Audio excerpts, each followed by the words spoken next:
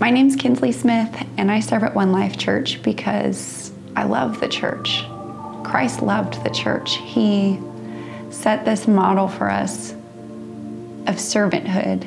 Everything about Christ's life was service oriented, it was about putting others ahead of himself and living and dying for the greater good. And that's the example that he gave to his disciples and the example that he set for us as his children.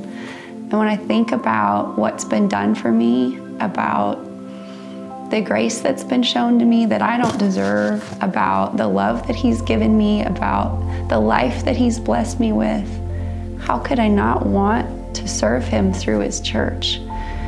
And through serving the church, God has blessed me with incredible relationships and support. He's grown me in my faith. And all of that, all of the good in my life, comes through service. It's not through coming and taking from church, but it comes through giving.